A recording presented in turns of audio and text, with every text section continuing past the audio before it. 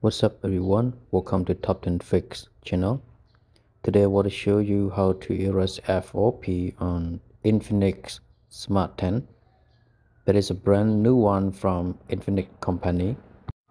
Alright, so let's go to see how to do this. Firstly, we need to go to the speed room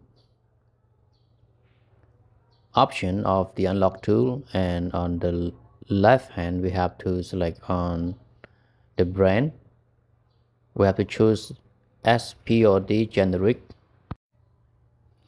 And then on the model we have to choose Tiger T616 underscore 64 underscore bypass. Tiger T616 underscore 64 underscore bypass. Is it clear everyone okay right here tiger t 616 underscore 64 underscore bypass. And then after that we have to choose the erase FOP option. And the unlock tool is waiting for the device that we have to turn off the phone. Just turn off the phone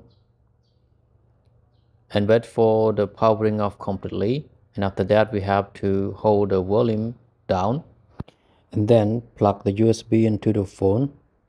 And the phone will connect thing to the PC and the unlock tool is working on erasing the FOP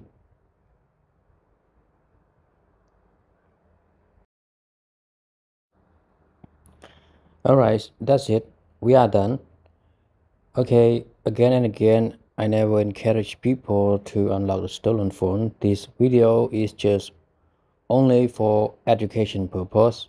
We do this for our own devices, our family devices and customer devices. Okay, and everybody please don't forget to like, share, subscribe and ring the bell for the future video. Alright, after that we have to set up the phone to the menu so that's it.